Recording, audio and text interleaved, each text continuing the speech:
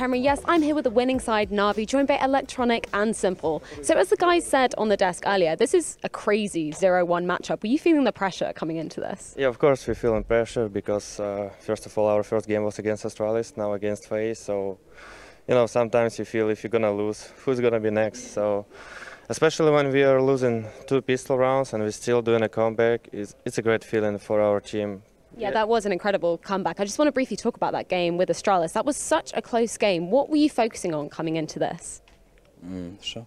Uh, на что ты обращал внимание на Во этот время турнир? игры? А, на этот турнир? I mean, like, uh, o- on Astralis game, you Yes, mean? yeah. Of course, it dep- everything uh, was depend on economy at the end, so that was really important. I hear they saw that we are doing stacks, but it was it, it depends on information that we had at this game. So that was really close game. Congrats to them again.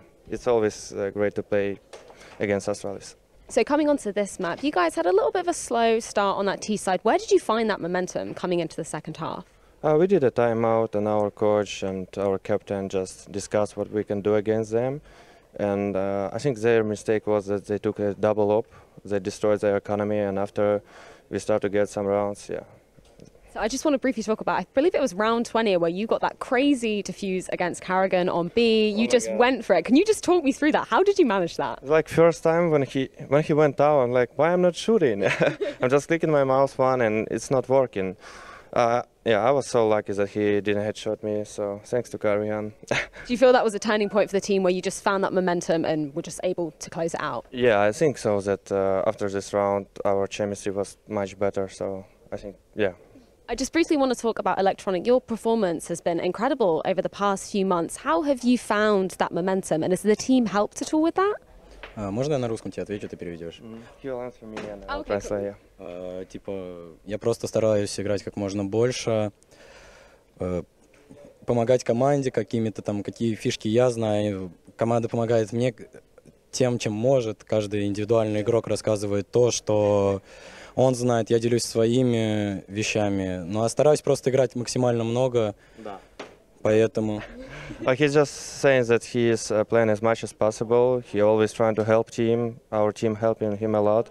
Uh, he's finding some stuff that can always help us, and that's worked. So going forward, you've now got this crucial win under your belt, which puts you in that 1-1 category. Are you feeling a lot more confident going into tomorrow? I mean, uh, doesn't matter who we're gonna play because uh, like all team came here to win this tournament. It's it's our main goal as for FaZe or Astralis or Liquid. So it doesn't matter who we're gonna play. Just we want, you know, like some strong game. So you can feel pressure. You can play uh, like with your emotions. You know, yeah. Yeah, I just want to pick up on that quickly. You seem like a very emotional team. No matter whether you win or lose rounds, you guys are yelling. I don't know whether it's good or bad. Is this something that helps motivate the team? It's helped us, especially when we are doing a comeback. It's helped us a lot. So we become more powerful. I mean, we don't like to start like this at the beginning. We want to start calm, but yeah, at the end, yeah. Thank you so much, guys, for your time, and congratulations again on the win. We're going to head back over to the analyst desk.